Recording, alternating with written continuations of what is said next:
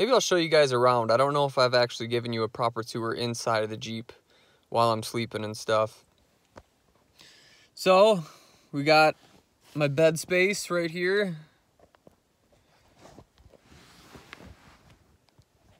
Pretty, uh, pretty small space, but you know, I'm not a big guy. All my food and whatnot there. My guitar just stacked. My cooler, duffel bag.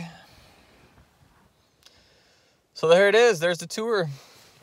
So I bought this nice uh, light, it's rechargeable. It's got a solar like recharger for it. And it hooks onto things. Just hook it right there, bam. You guys been wondering what I've been doing for water. You're looking at one of them. This is a seven and a half gallon tank of water. And I've just been filling them up at uh, campgrounds, campsites that aren't vacant, or uh, ranger stations.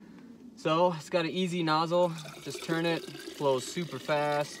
This is a one liter, 32 ounce. Yeah, it kind of makes a mess sometimes.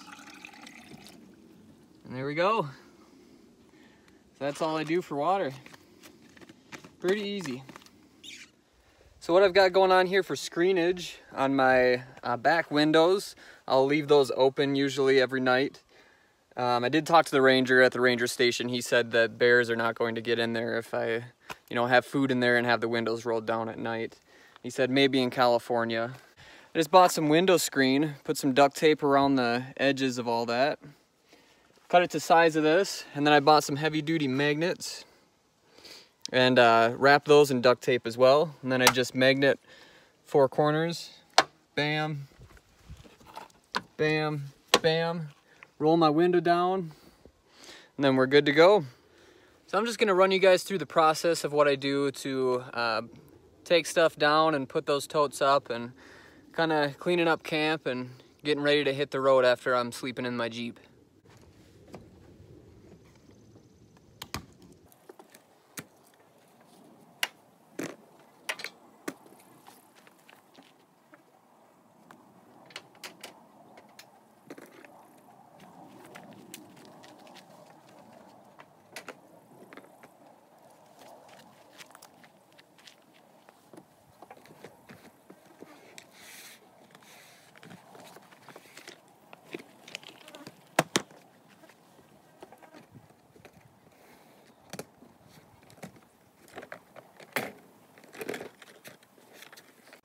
Got my toolbox in one of them, which weighs a lot, and I can't bring it up and down with the toolbox in it, so I gotta take the toolbox out.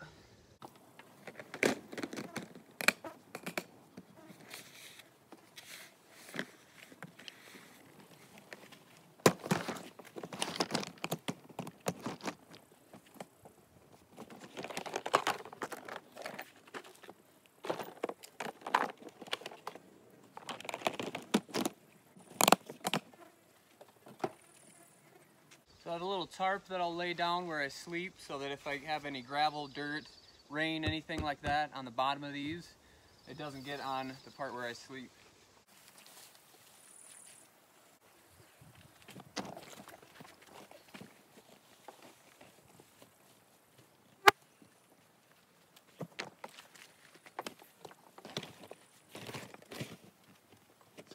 All right, so since I have one tote on top of the other, I need to tie this top one down so it's not sliding uh, back and forth, running into things and stuff.